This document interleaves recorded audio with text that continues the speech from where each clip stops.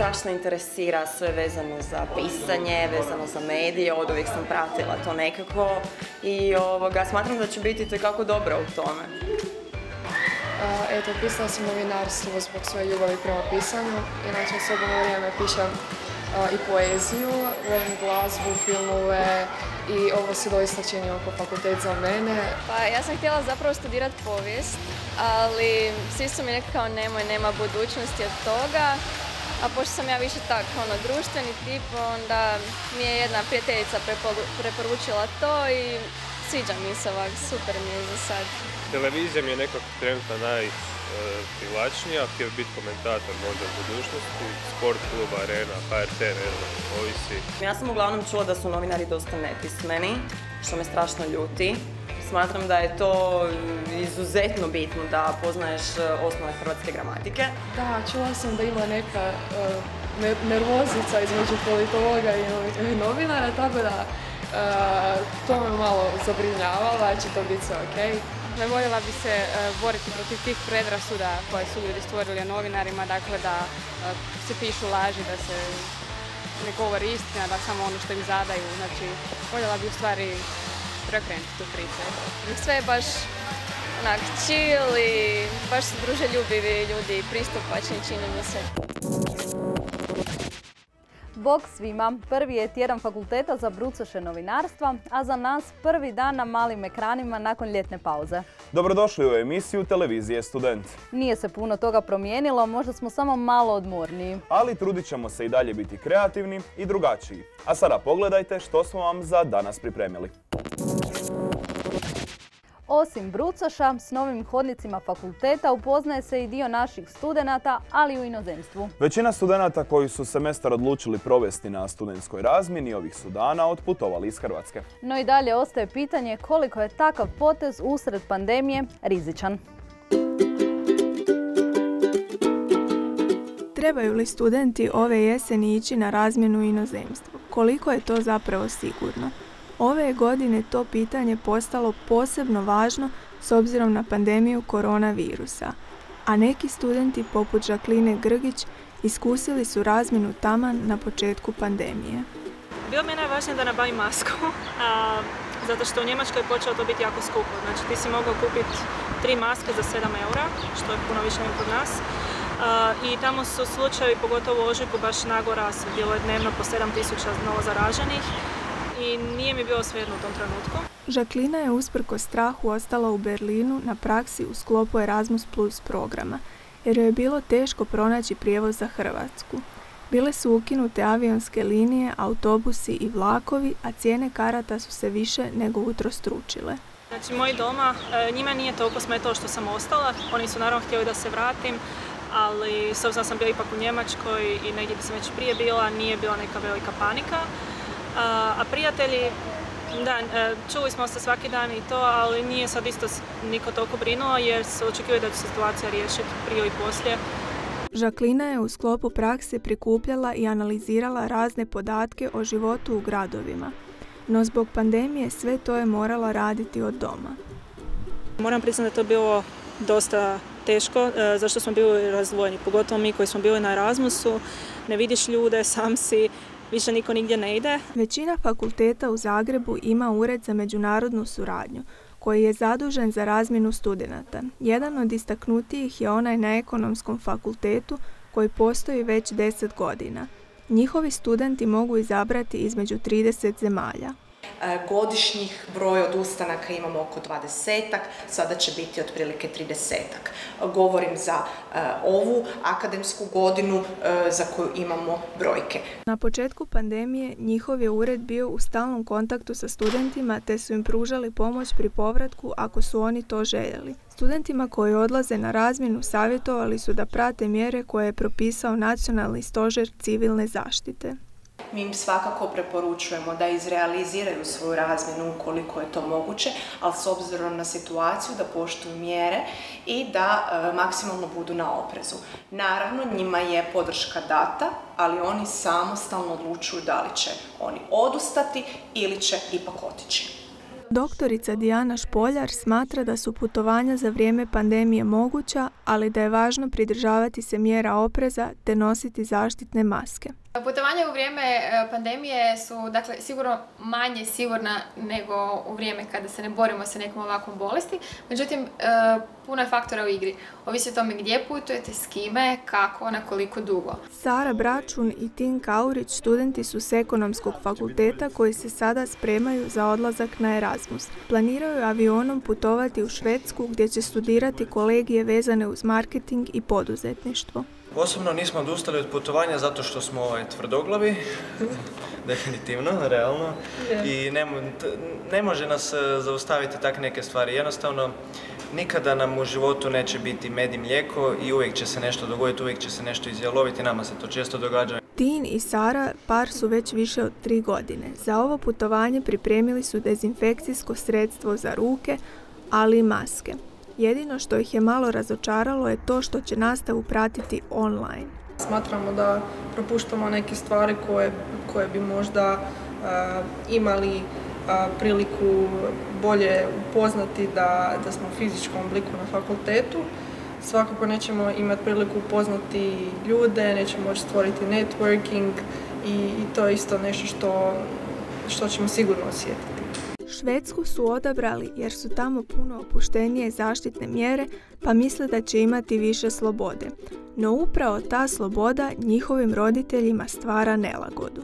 Moji roditelji su zabrinuti, međutim mislim da stvarno nema mjesta za strah i da, da će biti sve u redu. Moji roditelji su u početku kad je krenulo to sve su bili zabrinuti, pogotovo za Švedsku, pogotovo zato što idem tamo, zato što je neizvjesno kako će to još kod njih možda moglo još više eskalirati, ali sada kak situacija polako se smiruje, mislim realno mora se živjeti sa time. Studentima pomažu i agencije Integra Ledu te Erasmus Student Network Croatia. One brinu i o studentima koji dolaze u Hrvatsku, a pomogli su i onima koji su se na početku pandemije zatekli u drugim zemljama.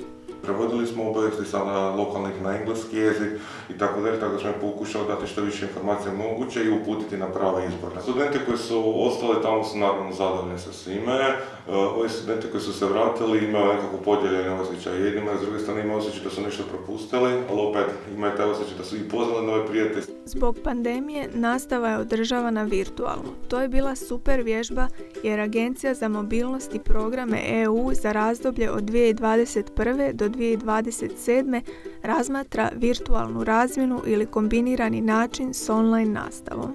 Erasmus Plus i institucije i nacionalne agencije su već davno spremne bile da će ovdje morati zapravo što prije početi provoditi takav način ili online, kratkih razmjena ili blended načina razmjena, tako da ovoga nije bilo stran pojam zapravo tako nešto implementirati. Čini se da kraj Erasmus Plus programa nije na vidiku, bez obzira na pandemiju. Neki studenti i dalje neustrašivo planiraju putovati i radosno iščekuju nova iskustva. Dok su se studenti pripremali za Erasmus, vjerojatno su računali da će se situacija s koronavirusom u budućnosti malo smiriti. Računali smo i mi. Ovako je to izgledalo u redakciji televizije Student prije ljetne pauze. No, ako ćemo biti iskreni, ni sada nije puno drugačije.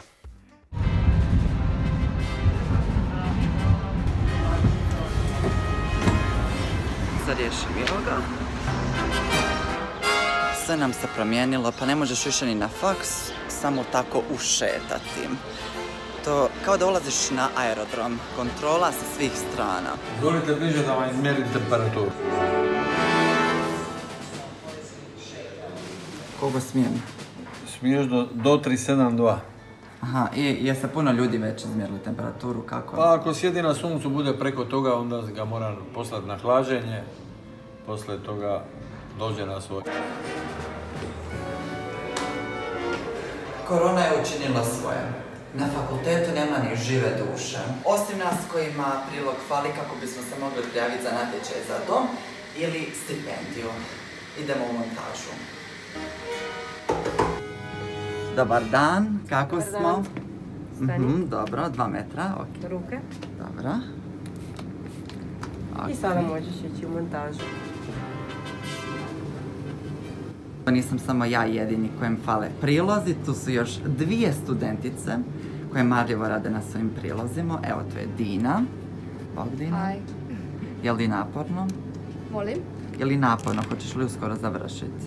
Pa bilo bi e, lakše da nemamo ove maske, da možemo disat, ali da, uskoro sam gotova. Tako je, slažem se ja isto s ovim sa maskom. A tu je i Andreja. Dobar dan, Andreja, Dobar kako dan. ste?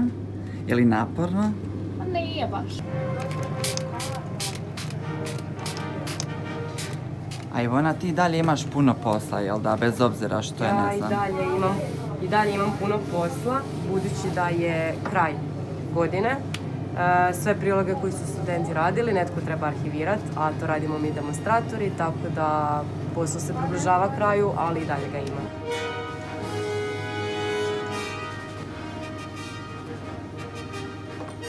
Općenito se bilo dosta teško naviknuti na situaciju i na neki zapravo drugi život. A kad još, mislim ok, bilo kad smo mi bili doma kod kuće, ali kad smo se trebali vratiti ovdje na faks, tek sam tada zapravo shvatila o čemu se radi i koliko je zapravo teško sve to raditi s maskama, čekat na porti da ti stričak izmjeri temperaturu, pa ako imaš iznad 37 te hvata panika. Evo Ja držim fige da se svi vratimo u normalu i da nastavimo raditi, da bude hrpa ljudi ovdje. Vidjet ćemo. E, zato što smo u podrumu, a u podrum je poznat kao najsigurnije mjesto za vrijeme ratova, potresa, čak i koronavirusa. A poznat je po tome što studenti ostaju do kasno radeći na svojim prilozima.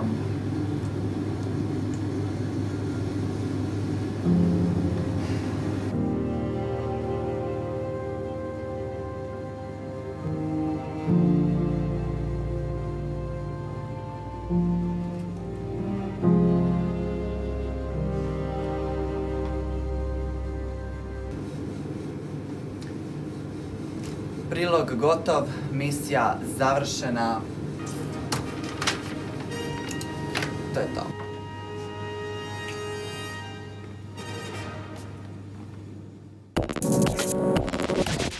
Osim virusa COVID-19, posljednjih su se mjeseci velikom brzinom širile i koje kakve teorije zavjere.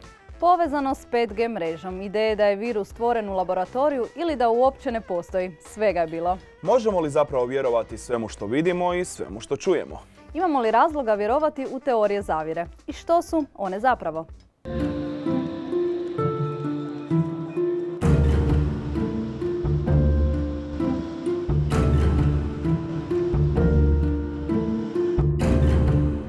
Što su to teorije zavjere? Radili se o produktu bujne ljudske mašte ili ipak kriju nešto više?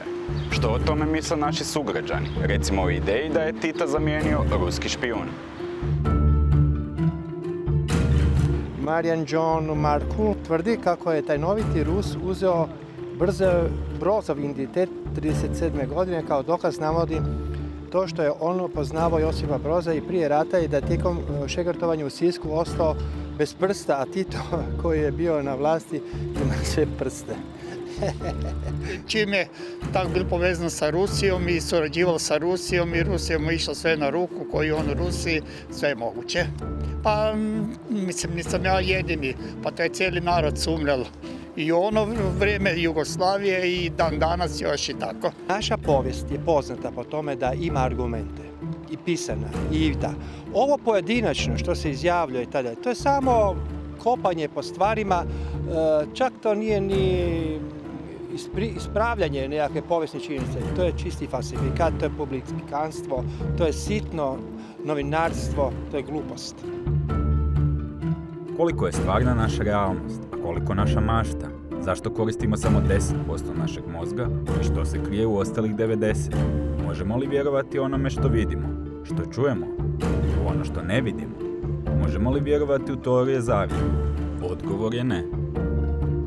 Ali odgovor je i da. Postoji uobičajeno mišljenje da su teorije zavjera a priori netočne teorije. Holokaust je zapravo sam po sebi bio zavjera koju su pokrenuli nacisti jer su vjerovali u teoriju zavjere e, koja je iznesena u protokolima sionskih mudraca, a koja je jedna od onih e, neopravdanih teorija zavjera. Jer ta teorija zavjere ne znači apsolutno ništa. Ništa. Tu se radi zapravo o društvenom inženjeringu kojim je cilj okupirati ljudske stavove i uvjerenja po pitanju toga što je stvarno, što je nestvarno, što je normalno, što je nenormalno, a sve to je Edward Bernays lijepo napisao u knjizi Propaganda iz 28. Uzmeš knjigu Otac PR-a, Spina, misliš da čitaš priručnik o teoriji urote. Danas bi njegovu knjigu nazvali, evo čovjek piše kako se radi teorija urote. Koje su to teorije zavjere koje treba dalje istražiti, a koje su u potpunosti neutemeljene, teško je procijeniti. I danas se može reći da to postaje pomalo među većinom ljudi, čak rekao bih ulični prevladavajući stav, usprkos tome što se svi prave da nije, pokušavaju to svesti na psihološki fenomen. Izraelski povjesničar Yuval Noah Harari ističe da ljudi dominiraju svijetom zbog zajedničke suradnje koja se održava pričama, kao jednim jedinim ljepilom koji ih drži zajedno. Harari smatra da učinkovito surađujemo sa potpunim strancima jer se međusobno pričamo priče i jer vjerujemo u stvari koje u biti ne postoje izvan tih priča. Ti misteriji su uvijek bili jedna zabavna kategorija. Znaš ono, pričice zabavne, e, specifično u nekom širokom području, neka priča o nelovu, nekom istraživanju eksperimenta namjeri ili tako nešto. Te priče koje su počele u samim početcima ljudskog razvoja vidljive su i danas. Neandertalci u špiljama preko crteža, Egipćani na pampirusu, usmenom predajom priča pa sve do izuma tiskarskog stroja.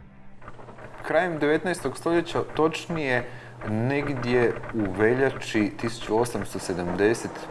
se e, pojavljuju određeni novinski napisi o e, specifičnoj teoriji zavjere. Riječ je o jednoj teoriji koju je uspostavio tužitelj u jednome sudskome procesu za koji je pretpostavio da se radi o zavjeri određenog broja ljudi protiv nekoga. Postoji uobičajeno mišljenje da su teorije zavjere u startu netočne teorije. Niz kritičkih autora i povjesničara povezivali su teorije zavjere s paranoidnim stilom mišljenja. Međutim, njihov je, njihov je problem to što su zapravo promatrali samo dio e, toga fenomena, odnosno samo jedan dio teorija zavjera koje bismo mogli navesti, e, odnosno okarakterizirati kao neopravdane teorije zavjera, koje su u njihovo vrijeme, to govorimo o 20. stoljeću koje je prepuno katastrofa, iskustava totalitarnih režima. Dakle, e, oni su se našli u toj situaciji da su e, teorije zavjera kao takve bile pokretač cijelog niza procesa koji su doveli do katastrofalnih posljedica. I dok u 21. stoljeću svjedočimo pravom malom baby boomu teorija zavjere, ipak je bitno napomenuti što one zapravo jesu. Svaka ona interpretacija koja uključuje dvoje ili više ljudi koji su se udružili najčešće tajno kako bi postigli određeni cilj najčešće na štetu druge osobe ili ili čak određene grupa osoba, određene institucije i kako bi zapravo pribavili sebi određenu, određenu korist. Što bi značilo da su neke od teorije zavjera i točne, poput slučaja Watergate, jedan od najtežih političkih skandala u američkoj povijesti, koji u početku bio teorija zavjere sve dok je novinari nisu razotkrili, ali to je samo jedna od vrsti teorija zavjere. Ako govorimo o razlikama između e, opravdanih i neopravdanih teorija zavjera, tada se pokazuje zapravo da su neopravdane teorije zavjera najčešće one koje pokušavaju pojednostavljeno objasniti nekakva globalna e, događanja, tipa teorije o novome svjetskome poredku, e, koje cijeli niz zapravo anonimnih procesa svode na ljudsko djelovanje. Dakle, riječ je o jednom e, pojednostavljivanju i tu postoji vrlo jasna kritika koji su njihovi, njihovi nedostaci. S druge strane, postoje i one teorije zavjera koje su opravdane, koje, su vežu, koje se vežu za nekakve konkretne, konkretne događaje. Uz današnja znanja koja imamo, razne alate i analize za provjeru, ne samo teorije zavjera, nego i lažnih vijesti, zanima nas zašto je svijet danas, usudili bismo se reći, više nego ikad zaluđen teorijama zavjere. Ako nekog pitaš kako je ne znam, avion lupio u Pentagon i nema ni aviona, a rupica ostalo od 5 metara. A još je čovjek koji nije znao letiti avionom, letio ovako nisko iznad zemlje, kamere su se ugasile, onda obično možeš očekivati da ćeš čuti nekakvu psihološku analizu o tome kako je svijet u velikom kaosu, kako ljudi pokušavaju naći red u njemu, pa smišljaju nekakve koncepte da nisu oni krivi ili tako dalje. Ali nakon svih tih teorija dalje ostaje objašnjenja psiholoških koja su točna, mogu držati vodu, ostaje pitanje gdje je avion i zašto je rupa ima 5 metara. I stvarno, ostaje samo jedno obično činjenično pitanje koje proizlazi iz logike prosječnog ljudskog mozga. No čak i danas, kao odgovor na takva racionalna ili logička pitanja, često čujemo ma ti si običan teoretičar zavjere.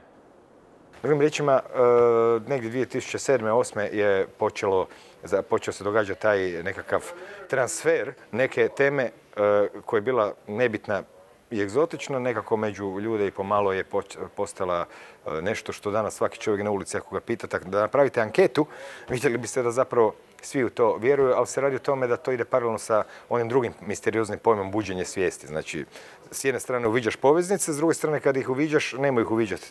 Ti si ludo, one ne postoje. Prije 5-6 godina sam pročitao da je FBI priznao da su u Roswellu ipak bili vanzemaljci. Ali to bilo na šestoj stranici u Dunu stupca i to više nikog ne zanima. Tako nešto što obara sve ljudsko, a to nikog ne zanima. Takav je danas svijet. Vjerujem da svemir toliko velik da nema šanse da su mi ono, uopće ne možemo pojmiti veličinu toga i sigurno postoji nešto što iza našeg dometa i znanja da sigurno sigurno postoji. Da mi to skrivamo, naš, neki ljudi to ne znam, ali da postoji nešto vanka, to je po meni definitivno. Pa to obara sve, obara kršćanstvo, šta šta obara, ne obara Vanzemaljci su bili, ne znači postoje. Imaju tehnologiju da pređu svu tu udaljenost. A nikog to ne zanima. Gdje je ta granica? Koja je razlika između teoretičara zavjera i paranoika?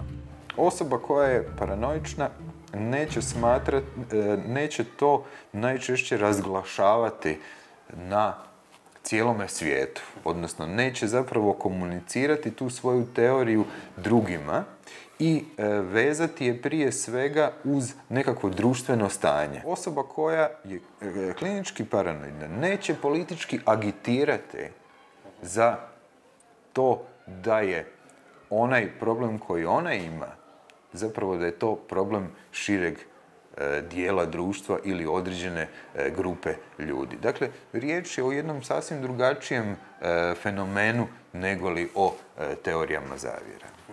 Jedan od faktora za takav razvoj bio je i ubrzan napredak tehnologije koja se razvila 50 puta brže nego što se ljudi uspiju prilagoditi na nju. Ta ista tehnologija je omogućila neslučajno e, razmjenu informacija, što je postalo odlično, ali isto tako su se ti kanali počeli tako hakirati da nekad davno bi recimo neko rekao je vjerovat ću u NLO ako ga vidim. Danas ga možeš vidjeti na stotinama tisuća slika, ali ne znaš da li su slike prave ili nisu. Internet je pridonio i signalu i šumu, ali puno više od svega e, na receptivnost ljudi je utjecalo razdoblje u kojem živimo. Kako onda mi možemo znati vladaju li gmazovi doista nama i jede li kraljica u istinu ljude? Trebamo li uvijek vjerovati objavama vlade? Prema bilo kakvoj interpretaciji treba se e, postaviti sa određenom skepsom. Međutim, ljudi vam najčešće ne funkcioniraju e, tako. Ideš pričati o nekoj temi, barataš određenim podacima koji su takvi kakvi jesu doista. Čovjeku postavljaš određena pitanja koje vam postavljaš doista su takvi i jednostavno, apsolutno nikad ti sam ne koristiš etiketu teorije urote. I bok. I sad kuš, ako ti neko veli to je to, dobro, ali ipak gdje nestoje avion koji je lupio u Pentagon? Ali za promišljanje o teorijama zavjera ne morate se nužno vraćati u prošlost, jer svako vrijeme, pa tako i ovo, donosi svoja pitanja i sumnje. Nedavna pojava koronavirusa uzburkala je svijet teorijama o laboratorijskom uzgoju virusa ili biološkom oružju. A kojoj teoriji ćete vi vjerovati, ovisi samo o vama samima. Na kraju emisije vodimo vas na selo. Ovog smo ljeta posjetili dječji kamp u blizini Varaždina koji djecu upoznaje sa seoskim životom. Hranili su domaće životinje, gulili kukuruz, palili logorsku vatru. Sve to u veseloj atmosferi i na svježem zraku. Krema za sunčanje, kapa, gumene čizmice i sve je spremno za jedan dan u selu. Nikolina i Josip Lukač vlasnici su imanja s hrvatskim autohtonim pasminama domaćih životinja na čak 8 hektara zemlje. Tijekom ljeta organiziraju dječje kampove, a misao vodilja bila je djeci omogućiti doživljaj seoskog života. A ideja o ljetnim kampovima je došla u principu od e, roditelja, klinaca e, koji žive nas u gradu, a e, htjeli bi roditelji klincima više približiti selo i na neki način ih malo odvojiti od gradske vreve. Želja nam je našim gostima e, ponuditi domaće proizvode, pošto još za sad nemamo svoje vlastite sve proizvode, e, surađujemo sa e, manjim OPG-ovima iz cijele Hrvatske. Osim domaće hrane, obitelj Lukač nudi interaktivno učenje o životinjama, izradu sira te slaninu pečenu na logorskoj vatri. Lucija, koja je na imanju već drugi puta, jednu aktivnost posebno izdvaja. Tu mi je drugi put da sam bila i jako je zabavna, lijepo i sve. Najdraža aktivnost mi je hranjenje životinja, pošto volim životinje i to. I 100% moram još jedan put ići tu jer je stvarno jako lijepo. Uz animatoricu, trenera i gitarista dan prođe za tren. Kreativna radionica, seoske igre te najpoznatije dječje pjesme osvajaju srca najmlađih. A osim djece, oduševljeni su i roditelji. E, pa odlučili smo dovesti djecu u svijet prirode, da ih malo maknemo od tehnologije, vratimo u prirodu, da se upoznaju sa životinjama, da, se druže, iskuste čari kampiranja, paljenja logorske vatre, da se dobro zaprljaju. Smatramo da je puno kvalitetnije nego odvesti djecu u zatvorenu igraonicu ili negdje na kupanje, a osim toga ovo je korona free mjesto. definitivno. to je sad in. Osim dječjih kampova, Svijet prirode organizira i božićnu priču sa živim jaslicama, traženje uskrsnih jaja, srednjovjekovne kampove, rođendane te takozvanu mačkaradu. Imanje grade malo po malo, a posjetitelji često kažu kako ovo imanje ima dušu. S obzirom da sve delamo isključivo vlastitim sredstvima, bez ikakvih kredita, bez ikakvih poticaja, e, cijela ova priča se razvija relativno polako, e, ali e, s vremenom bi htjeli malo proširiti ponudu, skupiti još preostale hrvatske pasmine domaćih životinja koje nam fale i htjeli bi u biti na jednom mjestu prikazati cijelu Hrvatsku. Ovaj mladi bračni par uči i svoje četvero djece kako voljeti životinje i brinuti za njih. Pokoji pad u blato, ubod pčele ili miris dima u kosi njihovoj djeci nije nepoznanica. Polako prestaje biti i gradskoj djeci, koja sve češće odabiru svijet prirode ispred klasičnih igraonica.